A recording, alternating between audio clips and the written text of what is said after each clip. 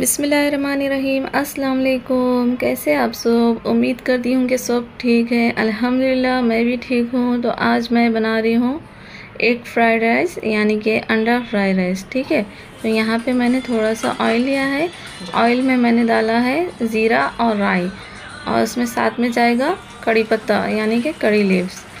और इसमें हम अभी डालेंगे आधा मीडियम साइज़ का प्याज, यानी कि कांदा। फिर हम इसमें डालेंगे। अभी इसमें कांदा जाएगा। कांदा डालने के बाद हम इसमें डालेंगे हरा मिर्च।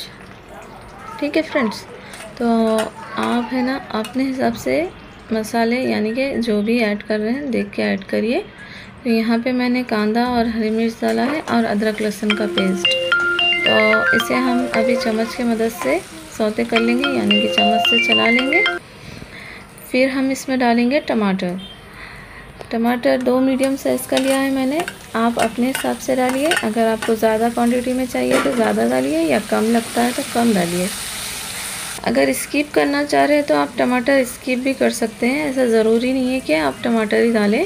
तो यहाँ पे मैंने पाउडर मसाले लिए हैं। नमक, हल्दी पाउडर लाल मिर्चों का पाउडर होममेड धनिया मसाला और लेमन ग्रास लेमन ग्रास इसलिए यूज़ कर रही हूँ मैं क्योंकि मेरे पास नींबू नहीं है लेमन नहीं है तो इसीलिए, ठीक है? तो यहाँ पे हम टमाटर को गलाने के लिए थोड़ी देर के लिए ढक्कन डाप के इसे गला लेंगे। जब तक हमारे टमाटर सॉफ्ट हो जाएँगे तो हम इसमें इसे अच्छे से चम्मच की मदद से चलाकर हम इसमें फिर राइस ऐड कर लेंगे, यानी कि चावल ऐड कर लेंगे।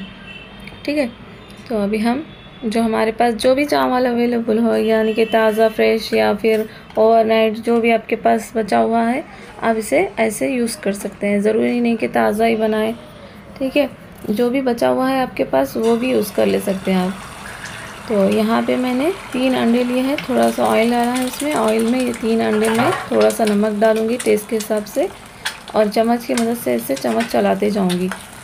तो हमें इसे ऐसे ही अखा अखा नहीं रखना है, एकदम साबित सा। बस चम्मच की मदद से इसे मिक्स कर लेना है।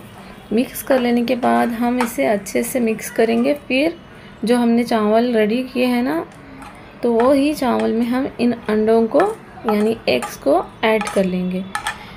देखिए हमारा बेहतरीन सा, एकदम यमी सा एक फ्राइड राइस एकदम बेहतरीन तरीके से तैयार है। अभी हम इन सभी एग्स को अच्छे से मिक्स कर लेंगे चम्मच की मदद से। मिक्स कर लेने के बाद हम इसकी गार्निश कर लेंगे धनिया से, यानी कि कोतमीर से। और मैं आपको एक सर्विंग प्लेट में निकाल कर दिखाती हूँ। तो प्लीज़ मेरी इस रेसिपी को लाइक करें कमेंट करें और अपनी फैमिली फ्रेंड्स में शेयर करें। ठीक है?